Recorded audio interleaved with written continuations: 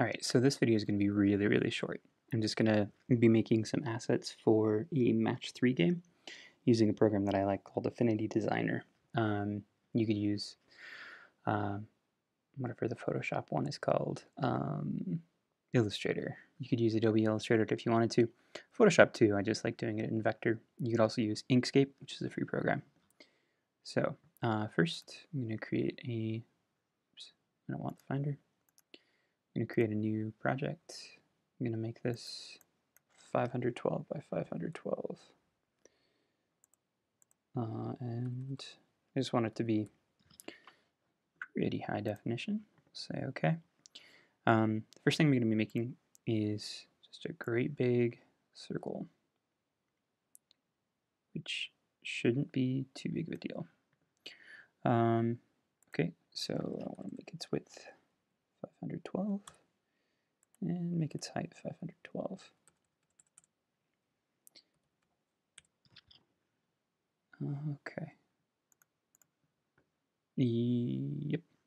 So I'm going to change the color of this though.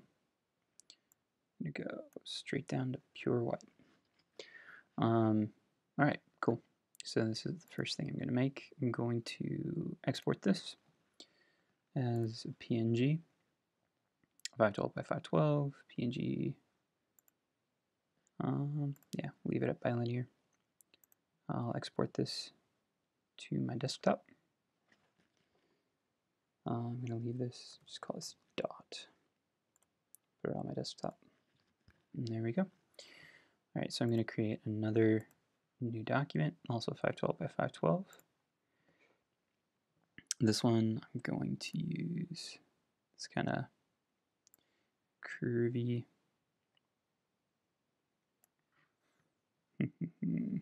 I'll make it width 512 by 512. Uh, okay. Is that, oh, it needs to be moved over a little bit.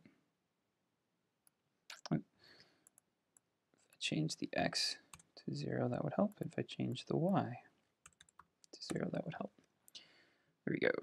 Um, I'm going to make this white as well. File, export, 512 by 512 PNG. I'm going to call this one Squircle. I'm going to save that. And then I'm going to make one more. 512 by 512. And this one is going to be a square. Set the x position to 0, the y position to 0, and then 512 by 512. Now, the difference with this one is I'm going to be putting another square inside of it. So I'm just going to eyeball this, but I will fix it. And I'll make that background purely black. Um, I'm going to offset this by 20 on both sides. And then I'm going to make it 20 less than 512, or 40 less than 512. So 472 and 472. So it's a nice perfect square within a square. Um, and then I'm going to export this. And I'm going to call this background. And I'll save that. Okay, so I know not everybody has Affinity Designer, um, but it's essentially the same process with Inkscape, which is a free program. Um, I just was arguing with Inkscape, Inkscape for a better part of half an hour, and it, for some reason, doesn't want to work on my Mac at the moment.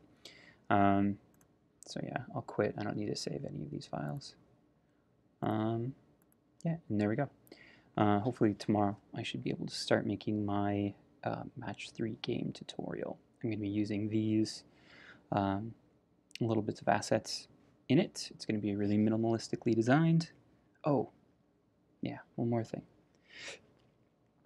Um, I'm gonna look for a palette I might want to use. I'm probably misspelling palette. Um, I'm just gonna Google search it, go to my images, and I just want to find a palette that I might like. Cool palette. Let's try that. I just want to, there we go. I want to get a nice theme. I like that one. So I'm going to copy, save image as.